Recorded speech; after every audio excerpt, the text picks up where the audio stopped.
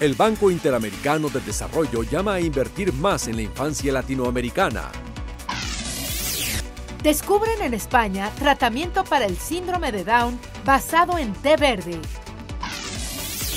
Abren la puerta del infierno. Exposición en el Museo Soumaya de la Ciudad de México. El Instituto Federal de Telecomunicaciones busca impulsar en México producción nacional de contenido infantil. Y en esta ocasión les preparamos un tema de gran actualidad en nuestra sección de reportaje que esperamos sea de su total interés. Bienvenidos a una emisión más de Horizonte Iberoamericano, el espacio informativo del ILCE. Quédense con nosotros los siguientes 30 minutos, que tendremos mucha información de salud, tecnología, medio ambiente y cultura en Iberoamérica. ¡Comenzamos! La educación infantil en América Latina y el Caribe es la clave para asegurar el desarrollo de la región. Eso lo demostró el estudio del Banco de Desarrollo Integral. Veamos los detalles. Como parte de las conclusiones del estudio Los primeros años, el bienestar infantil y el papel de las políticas públicas, realizado recientemente por parte del Banco Interamericano de Desarrollo BID en conjunto con la organización Think Tank, se destaca que el bienestar de los niños en América Latina y el Caribe deja aún mucho que desear y aseguran que este 2016 pondrán el acento en la importancia de la inversión de calidad en las primeras etapas de vida. Durante la presentación del documento, todos los ponentes recordaron que los niños son los adultos del futuro y la clave del progreso de las sociedades. Invertir en la infancia tiene una de las mayores tasas de retorno. Siempre lo hemos sabido, pero nosotros los economistas hemos tardado en convertir esta idea en números, explicó el economista jefe del BID, José Juan Ruiz, durante el acto de presentación del informe celebrado en la Casa de América en Madrid. Hay aproximadamente 50 millones de niños menores de 5 años en América Latina y el Caribe. Un niño de hasta 6 años, nacido en las regiones más pobres de estos países, puede llegar a tener un retraso de 2 años y medio en comparación con un compañero criado en una familia de ingresos medios.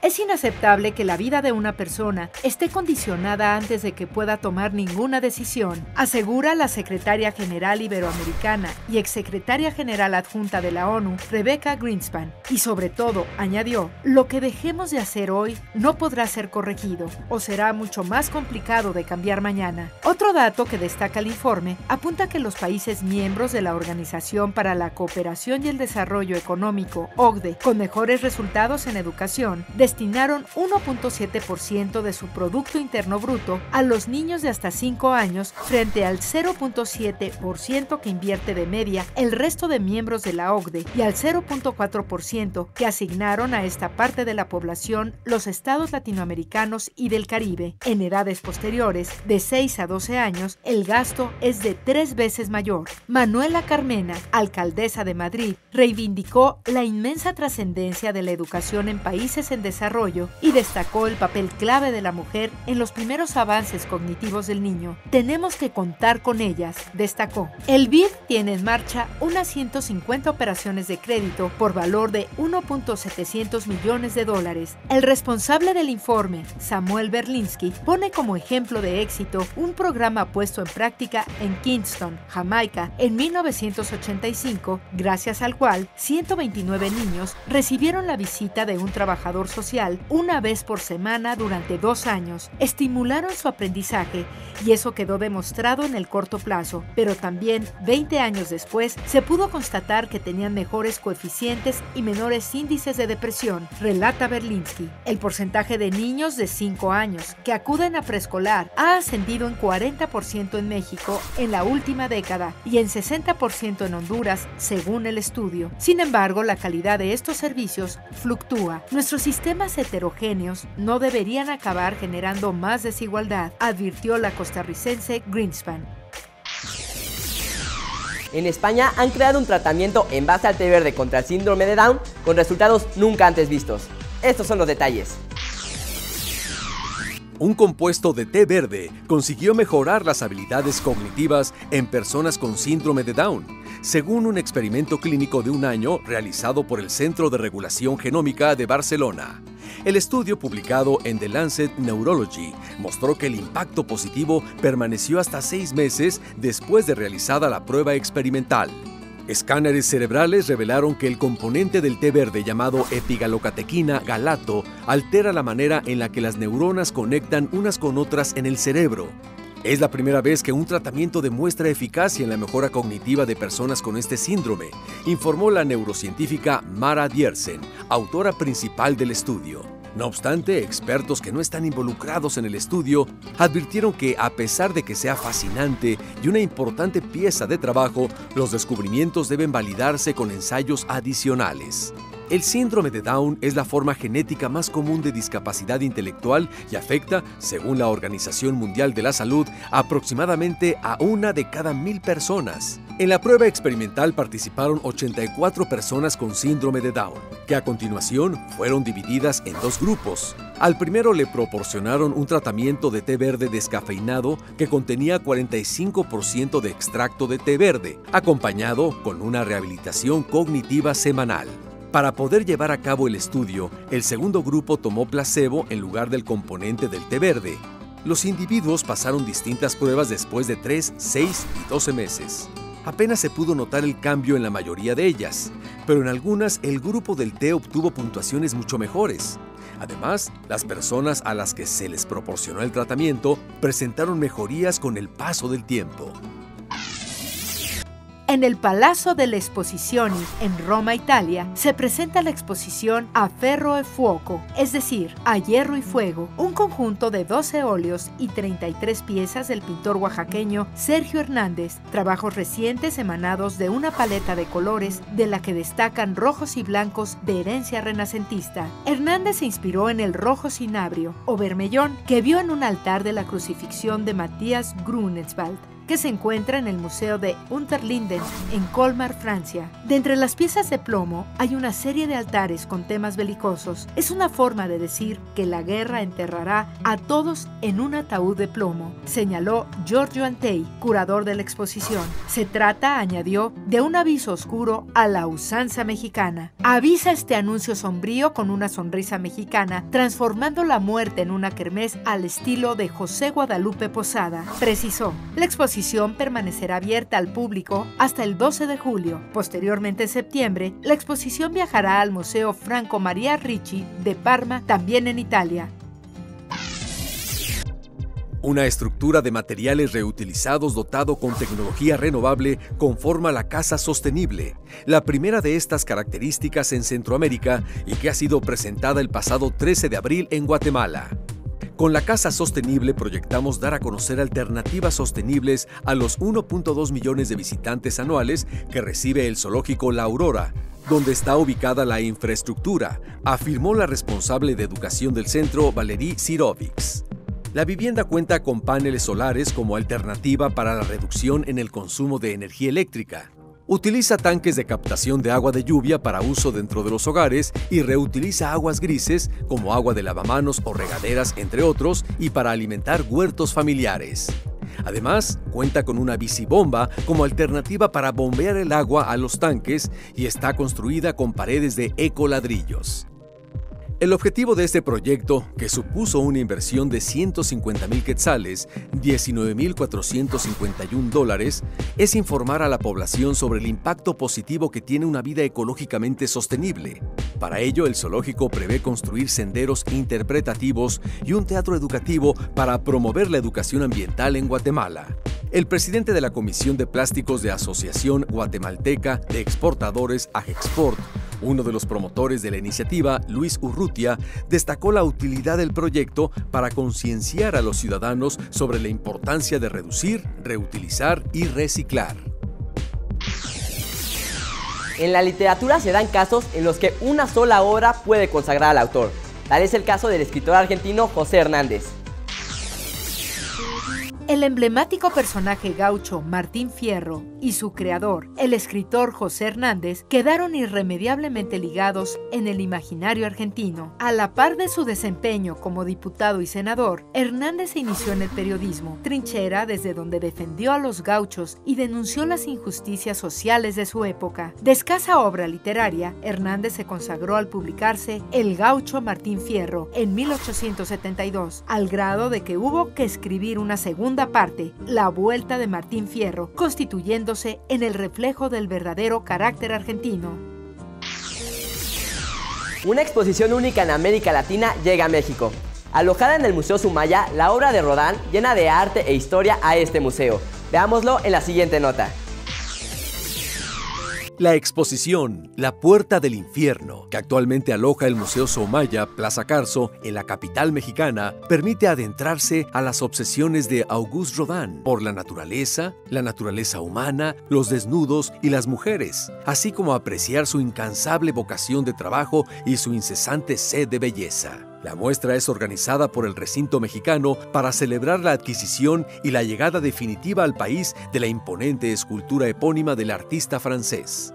La exposición, que permanecerá abierta al público hasta el 11 de septiembre, incluye diversos bocetos, estudios y pruebas que el escultor hizo para su monumental escultura. Entre ellos un yeso hasta hoy inédito de Dante vestido que más tarde daría vida a El Pensador, además de algunas de las esculturas que se derivaron de ese magno proyecto. De acuerdo a Alfonso Miranda, director del Museo Soumaya, se trata de la muestra con mayor cantidad de creaciones de Rodin exhibidas fuera de Francia. También es la única en América Latina que exhibe uno de los ocho ejemplares que existen en el mundo de la escultura La Puerta del Infierno, la más ambiciosa y monumental pieza realizada por Rodin, con más de 6 metros y medio de altura y casi 4 metros de ancho, así como 6.700 kilogramos de peso. La creación de esta pieza se remonta a 1880, cuando el Ministerio de Cultura francés encomendó a Rodin una puerta decorada para el Museo de Artes Decorativas de París, donde se establece actualmente el Museo d'Orsay. El autor se inspiró en dos obras literarias, La Divina Comedia de Dante Alighieri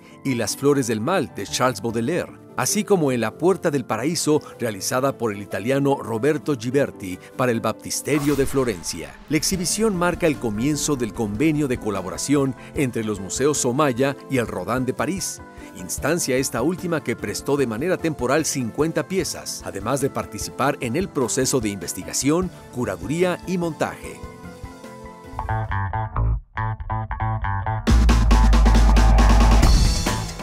Nos encontramos en el Museo de la Luz de la Universidad Nacional Autónoma de México.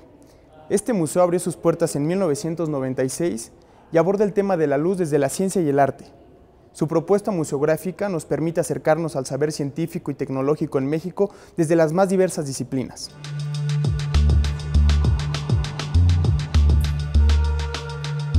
En el primer nivel hay varias exposiciones permanentes. Una de ellas se llama Naturaleza de la Luz y explora los principales conceptos relacionados con la física de la luz, cómo se genera, cuáles son sus efectos cuando interactúa con la materia y qué explicaciones hay sobre su naturaleza. Me encuentro con Pilar Contreras Irigoyen, subdirectora del Museo de la Luz, para platicar un poco con ella sobre la historia de este museo y todas las actividades que se llevan a cabo aquí. Pilar, muchas gracias por habernos recibido.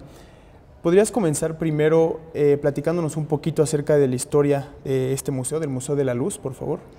El Museo de la Luz nació, se inauguró, abrió sus puertas por primera vez al público en el centro histórico de la ciudad, en el antiguo templo de San Pedro y San Pablo, eh, el colegio máximo de San Pedro y San Pablo.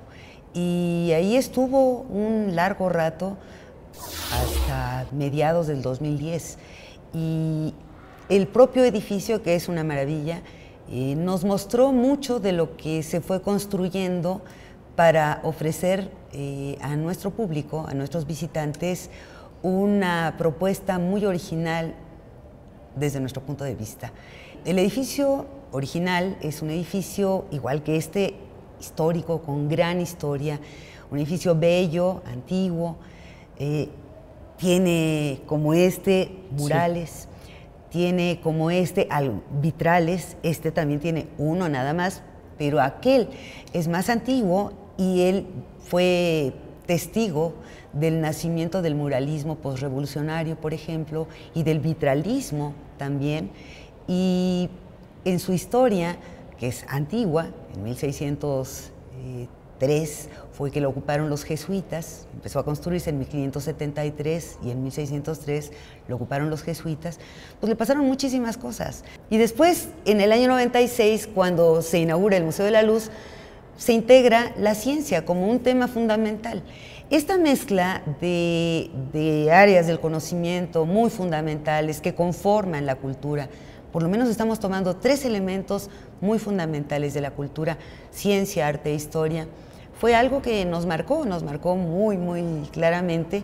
Y cuando nos mudaron a este otro edificio, al patio chico del de, el Colegio de San Ildefonso, realmente era rediscursar con estos elementos el propio museo. Otra de las salas está dedicada a la luz de las estrellas, donde se explica que toda la información que tenemos sobre ellas, como su composición química, edad, temperatura, masa y distancia a la que se encuentran, se obtiene de la luz que emiten. Pero ¿qué nos puedes decir aparte de otras actividades que tengan fuera de las exposiciones que tienen que ver directamente con la luz? Aquí en, aquí en el museo pues todo gira alrededor de la luz. Tenemos talleres, tenemos demostraciones, tenemos cineclub, tenemos, eh, tenemos algo muy interesante, ¿eh? tenemos eh, un, programa especial para ciegos y débiles visuales. cuando nació el Museo de la Luz, hace ya casi, decía yo, 19 años, era evidentísima el paso de ciegos y débiles visuales en los alrededores. Y nos acercamos a la Escuela Nacional para Ciegos y Débiles Visuales, que está aquí muy cerquita. Y ellos fueron realmente los que nos fueron enseñando cómo alguien que no ha visto la luz nunca puede acercarse al fenómeno de la luz. entre los recorridos, los talleres, las demostraciones, el cineclub, eh, conferencias, tenemos unas conferencias, varios modelitos de conferencias, conferencias de especialistas que ocurren los jueves. Invitamos a, pues, a gente, vamos, especialistas, se llaman no, no artificialmente conferencias de especialistas, a que nos compartan algo de lo que ellos saben, pero nos sumamos también al esfuerzo de la Academia de Ciencias, eh, a lo que hacen con Domingos en la Ciencia. Es un programa muy antiguo, pionero en la divulgación de la ciencia, que lleva a investigadores de reconocidísimo prestigio. También tenemos charlas de becarios. Nuestros becarios son, son nuestros anfitriones, son los anfitriones de nuestros visitantes y nuestros eh, anfitriones lo que hacen como parte de su programa de formación al que entran cuando, cuando ingresan a, ser parte del grupo de becarios de la dependencia, eh, dan una conferencia, preparan las charlas de los becarios. Y esas charlas de becarios ocurren los sábados. Pero hemos tenido eh, teatro, conciertos. La visión es otro tema al que el museo dedica un espacio. Aquí se puede conocer cómo funcionan nuestros ojos, cuál es el papel de la luz en el proceso de la visión y cómo ve alguien que tiene miopía, hipermetropía o astigmatismo. Además, hay una gran variedad de ilusiones ópticas y hasta nos pueden hacer un examen de la vista para saber qué tan bien vemos. Tenemos el gabinete del optometrista en un área de la visión. Eh, nuestros optometristas son buenérrimos estudiantes que egresan de la carrera y que realizan aquí en el Museo de la Luz su servicio social y ofrecen la posibilidad a nuestros visitantes de tener un examen optométrico muy completo para tener una idea de cómo anda su visión. No todo el mundo se revisa los ojitos y sí sería algo que debiera de establecerse como una necesidad. En el segundo nivel encontramos una sala que nos muestra todo lo relacionado con la luz en las artes, donde los temas principales son color, espacio, perspectiva, sombras y volumen. Pilar, muchas gracias. Ya para finalizar, ¿Cómo invitarías al público de Horizonte Iberoamericano a que visiten el Museo de la Luz? Con muchísimo gusto, de verdad nos va a dar muchísimo gusto tenerlos por aquí, sería fantástico y la van a pasar bien, estoy 100% segura de que la van a pasar bien.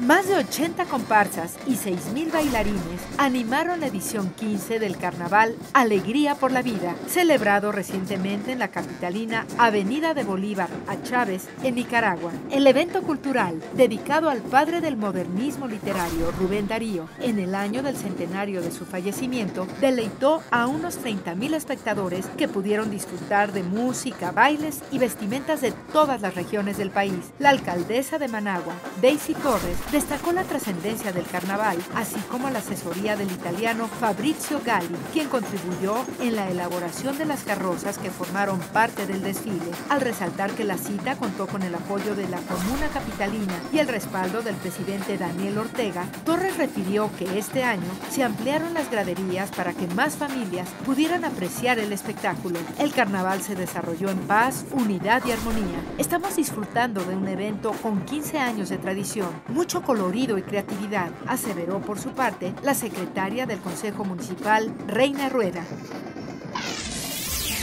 Por cuarta ocasión consecutiva, la Embajada de República Dominicana en Francia celebró la Gran Noche Cultural Dominicana, con artes visuales, gastronomía y folclore, en el marco de la Semana de América Latina y el Caribe. Este festejo tiene como finalidad fortalecer el intercambio y cooperación entre la nación francesa y los distintos países que integran la región latinoamericana y caribeña. A la actividad asistieron el expresidente Leonel Fernández y la embajadora dominicana en París, Rosa Hernández de Grullón, quien expresó que su enfoque como diplomática consiste en trabajar para lograr un creciente intercambio comercial, educativo, científico y cultural, así como un mayor acercamiento institucional entre los estados de Francia y República Dominicana, que permita una amplia colaboración para el desarrollo integral de nuestros pueblos. El pasado mes de mayo fue un buen mes para el cine boliviano, que cada vez tiene más difusión en diferentes latitudes del mundo. La película Boquerón fue exhibida en el quinto Festival de Culturas Latinoamericanas en Estocolmo, Suecia. El filme, dirigido por Tonchi Antesana, fue estrenado el año pasado y recrea uno de los episodios más conmovedores de la Guerra del Chaco, en la que 619 soldados bolivianos resistieron por 21 días el cerco de 12.000 soldados paraguayos. Boquerón ya representó a Bolivia en la segunda edición del Festival Internacional de Cine de Caracas 2016, que se realizó en febrero de este año. La quinta versión del festival fue organizada junto con las embajadas latinoamericanas radicadas en Suecia y la Asociación de Música Antigua de Estocolmo. En tanto, Carga Sellada, dirigida por la cineasta boliviana Julia Vargas, participó en la vigésima edición del Festival de Cine Latinoamericano de Ottawa, encuentro organizado por el Canadian Film Institute con el apoyo del Grupo de Embajadas Latinoamericanas. El argumento de esta película describe la denuncia de una carga de supuestos desechos tóxicos enviada a Sudamérica y abandonada en los Andes bolivianos en 1995, la cual es descubierta por los pobladores del lugar y es necesario deshacerse de ella.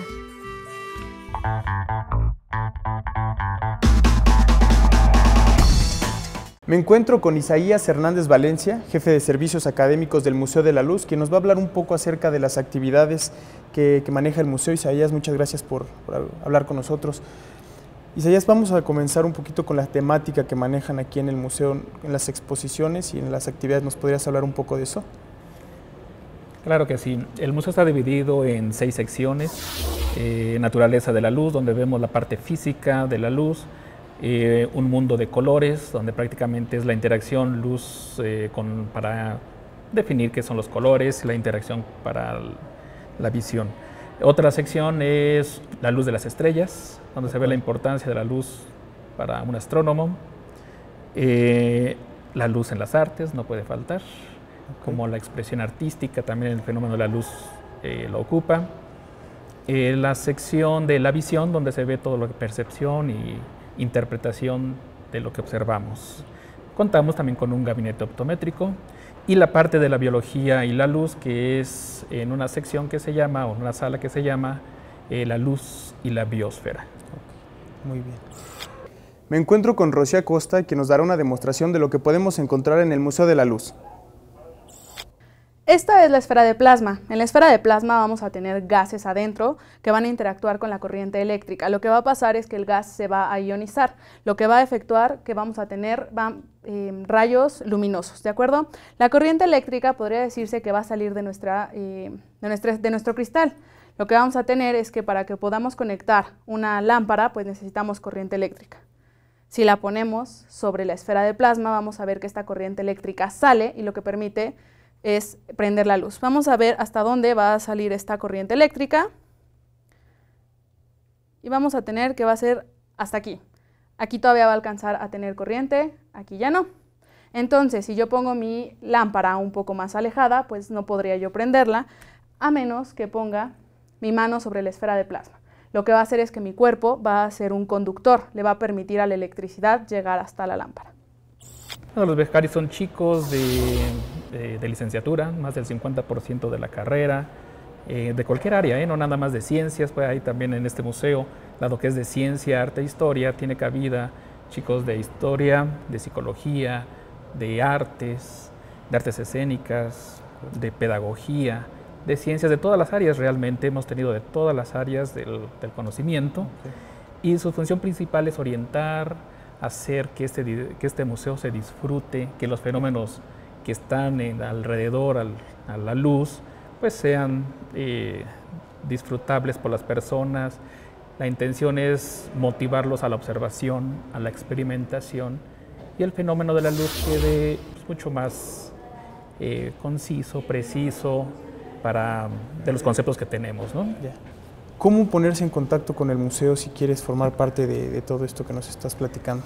Cada año hacemos dos elecciones aproximadamente anuales, ¿no? más o menos cada seis meses, así con los calendarios de la UNAM, dado que eh, los becarios anfitriones del museo son jóvenes que duran un año con extensión a dos años y es visitar la página del Museo de la Luz y sale sistemáticamente, más o menos por ahí de octubre, noviembre, porque entran en febrero, y las otras personas entran en, acaban de entrar apenas hace un mes, y estamos hablando de, octubre, junio, julio, octubre, es la siguiente captación de personas del museo. Entonces esperen la convocatoria que sale dos veces al año. Ok. Otra manera en que vamos a ver la electricidad de la esfera de plasma va a ser con monedas, que también son hechas de metales conductores. Va a tener la, moneda va a tener la corriente eléctrica y lo que yo voy a hacer es jalar esa corriente eléctrica con otra moneda. Y lo que vemos es un rayo, un rayo de plasma. La corriente eléctrica va a ionizar el aire que este, existe entre nuestras monedas y va a provocar el rayo de plasma. ¿Cómo invitarías al público de Horizonte Iberoamericano a que visiten el museo y se adentren en toda esta serie de actividades y talleres que tienen? Bueno, los invitamos aquí al Museo de la Luz, único en el mundo que toca el fenómeno de la luz. Estamos abiertos de martes a domingo en un horario de 9 de la mañana a 5 de la tarde. Eh, pues bueno, es un lugar que si, estamos, si venimos a la Ciudad de México y estamos en el centro histórico de ella, pues creo que es necesario visitarlo para que gocemos una experiencia diferente del fenómeno de la luz. En México, los niños usan gran parte de su tiempo en el consumo de los medios de comunicación, aun cuando el contenido no sea apto para ellos. Conozcamos los detalles.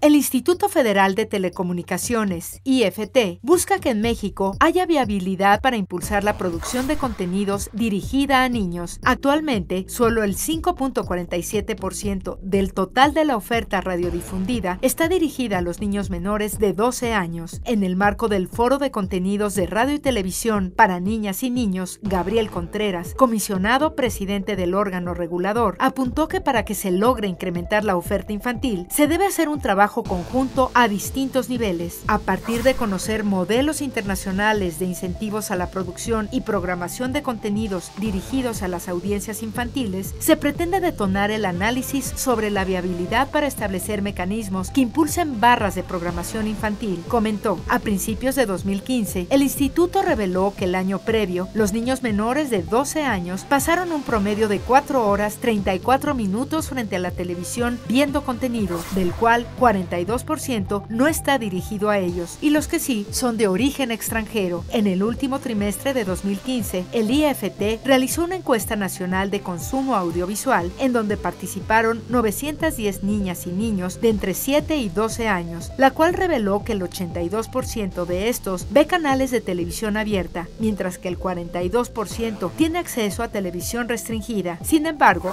solo el 19% de los niños acostumbra escuchar la radio principalmente principalmente contenidos musicales. Si de este ejercicio resulta que es más lo que debe hacerse a nivel programación, a nivel financiamiento, a nivel de autoridad o incluso a nivel legal, habremos ganado todos, comentó Contreras. El Palacio de los Deportes fue construido por motivo de las Olimpiadas que se realizaron en México en 1968, aunque ahora se utiliza para todo tipo de eventos. Conozcamos más de él en el siguiente collage.